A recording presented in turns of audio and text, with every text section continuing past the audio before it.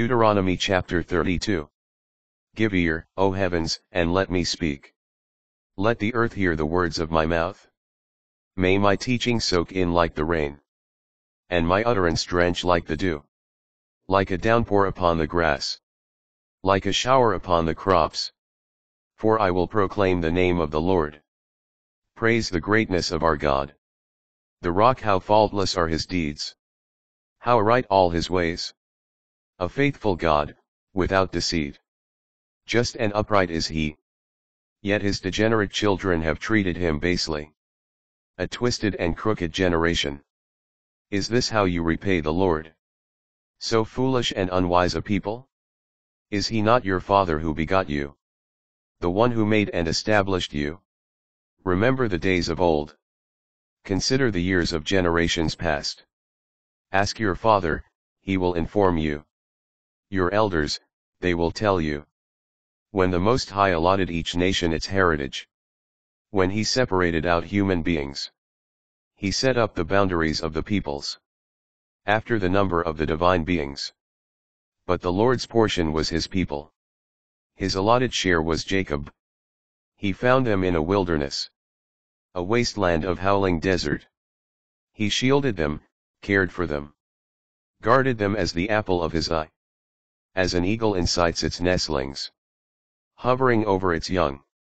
So he spread his wings, took them. Bore them upon his pinions. The Lord alone guided them. No foreign God was with them. He had them mount the summits of the land. Fed them the produce of its fields. He suckled them with honey from the crags. And olive oil from the flinty rock.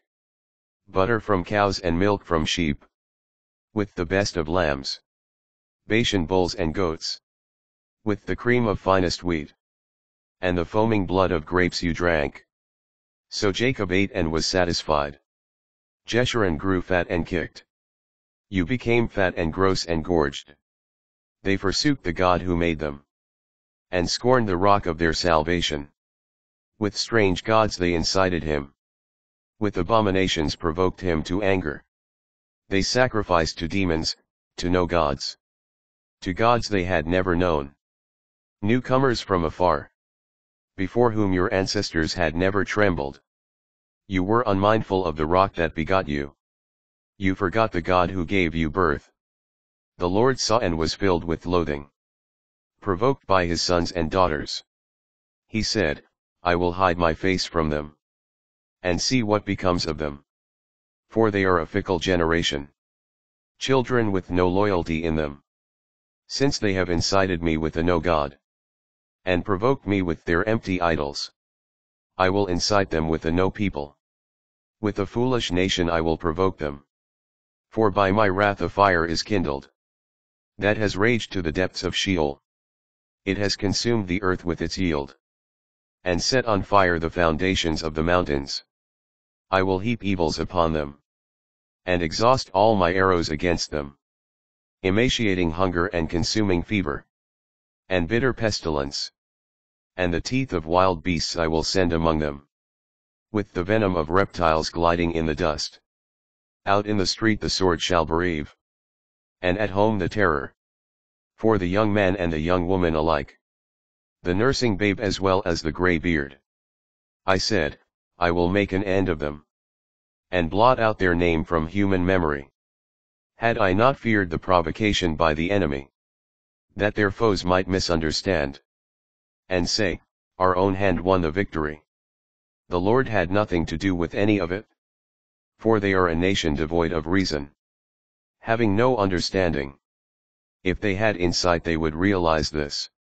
They would understand their end. How could one rout a thousand? Or two put ten thousand to flight? Unless it was because their rock sold them.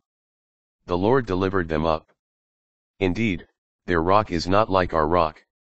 Our enemies are fools. For their vine is from the vine of Sodom. From the vineyards of Gomorrah. Their grapes are grapes of poison. And their clusters are bitter. Their wine is the venom of serpents. The cruel poison of vipers. Is not this stored up with me? Sealed up in my storehouses? Vengeance is mine and recompense. For the time they lose their footing. Because the day of their disaster is at hand. And their doom is rushing upon them.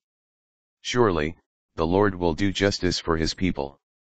On his servants he will have pity. When he sees their strength is gone. And neither bond nor free is left. He will say, Where are their gods?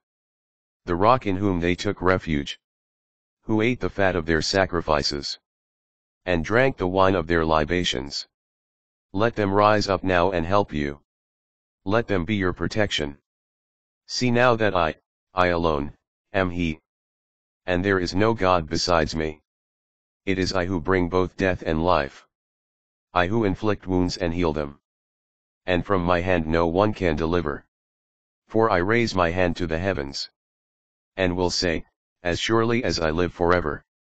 When I sharpen my flashing sword. And my hand lays hold of judgment. With vengeance I will repay my foes. And requite those who hate me.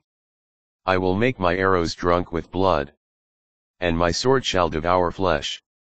With the blood of the slain and the captured. From the long-haired heads of the enemy. Exult with him, you heavens.